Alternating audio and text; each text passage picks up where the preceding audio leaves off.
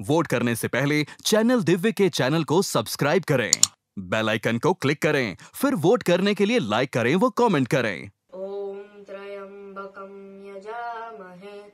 सुगंधिम पुष्टिवर्धनम उर्वारुकमिव बन्धनात् मृत्योर्मुक्षीयमामृतात्।